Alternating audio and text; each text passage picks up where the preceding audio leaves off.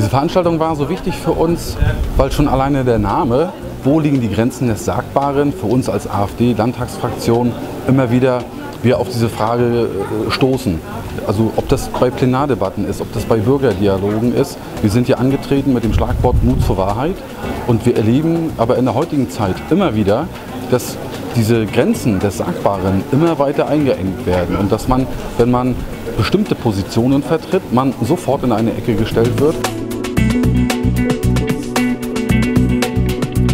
Also in der Tat hätte ich mir das äh, nicht vorstellen können nach dem Mauerfall und nach der Vereinigung, dass ich äh, eines Tages auf einem Podium sitzen würde und wieder für die Meinungsfreiheit streiten müsste. Ich habe damals eigentlich gedacht, dass wir mit äh, der Demokratie, die Demokratie ist natürlich immer nur so gut wie die Demokraten, die sich für sie einsetzen, aber dass es mal wieder eine Situation entstehen würde, wo ich mich äh, verteidigen muss, wo ich äh, diffamiert werde, weil ich meine Meinung äh, frei und öffentlich äußere und das lasse ich mir von niemandem nehmen, das hätte ich mir nun allerdings wirklich nicht vorstellen können.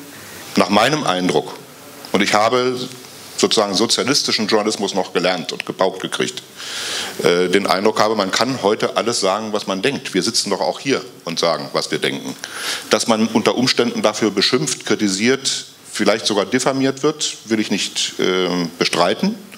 Ich finde aber, das gehört dann eben zu einem offenen Diskurs. Ich habe kein Problem äh, damit, ähm, angegriffen wer, äh, zu werden für das, was ich sage. Aber mein Problem beginnt, wenn das äh, mit staatlichen Strukturen in Verbindung steht. Und das äh, ist das Gefährliche daran.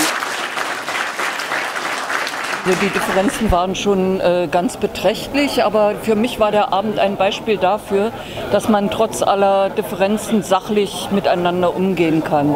Und das finde ich den großen Gewinn. Ich fand, wir lagen in vielen Dingen schon weit auseinander. Wir sind aber pfleglich miteinander umgegangen, wie es sich für einen ordentlichen Diskurs gehört. Und ich bin ja hier gewesen, weil ich austeile, äh, also stelle ich mich auch einem Diskurs. Ja, natürlich gab es Zeiten, wo wir uns anders verhalten haben, weil wir sozusagen ein anderes Weltbild selbst hatten. Äh, wir sind beschimpft worden im Jahr 2015. Da hing an unserem Medienhaus, dafür haben wir viele Abos verloren übrigens auch, aber auf der anderen Seite auch viele gewonnen, hing ein Transparent äh, Refugees Welcome.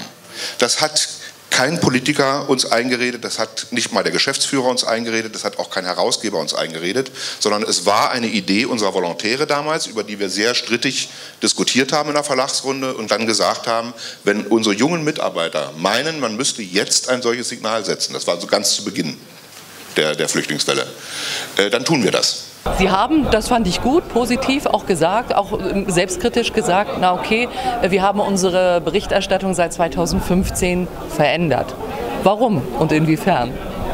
Weil wir zum Beispiel festgestellt haben, dass sogenannte vertrauenswürdige Quellen, die Sie ja aus Ihrem Berufsleben sicherlich auch kennen, also bei bestimmten Quellen war es Usus, dass man es nicht hinterfragen muss, sondern dass das eine verlässliche Quelle ist. Wir haben lernen müssen, dass selbst vermeintlich verlässliche Quellen eben nicht per se verlässlich sind und wir auch die nachprüfen müssen. Und wir haben gelernt, dass, es, dass das Meinungsspektrum, auch übrigens in unserer Leserschaft, wesentlich breiter ist, als wir es vorher angenommen hatten. Müsste es mehr dieser Veranstaltungen geben oder wie bewerten Sie diese Veranstaltung hier heute? Ja, es müsste unbedingt mehr solcher Veranstaltungen geben. Die Diskussionskultur in unserem Land ist ja praktisch abgestorben. Aber Demokratie lebt von der Diskussion, lebt von einem Austausch von Argumenten. Und wenn der Meinungsaustausch nicht mehr möglich ist, weil eine Seite erklärt, sie will mit der anderen Seite überhaupt nicht mehr reden, dann ist auch äh, die Demokratie in allerhöchster Gefahr.